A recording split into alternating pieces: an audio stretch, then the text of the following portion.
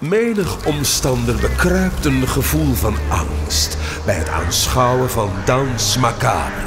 Wat hen wacht is de sinistere wedergeboorte van de middeleeuwse abdij.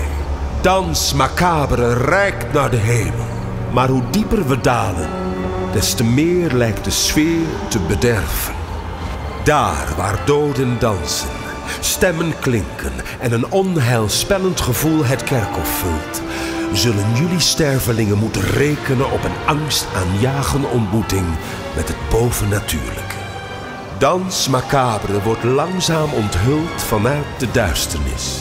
Ben jij moedig genoeg om je te begeven in mijn nieuwe, huiveringwekkende wereld?